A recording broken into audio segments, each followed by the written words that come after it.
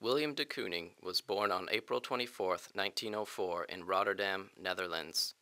De Kooning came to the United States in 1926 and settled briefly in Hoboken, New Jersey.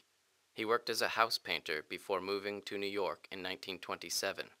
He took various commercial art and odd jobs until 1935, when he was employed in the mural and easel divisions of the Works Progress Administration Federal Art Project.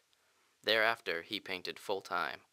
In the late 1930s, his abstract and figurative work was primarily influenced by the Cubism and Surrealism of Pablo Picasso.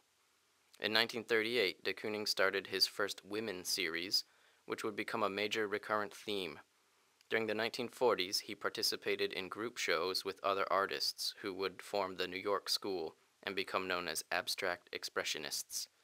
De Kooning's first solo show, which took place at Egan Gallery in New York in 1948, established his reputation as a major artist.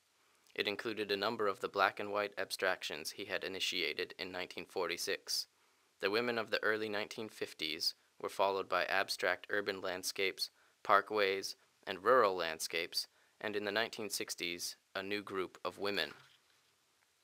De Kooning settled in the Springs, East Hampton, New York in 1963. He was honored with retrospectives at the Museum of Modern Art in New York. He died on March 19, 1997, in New York.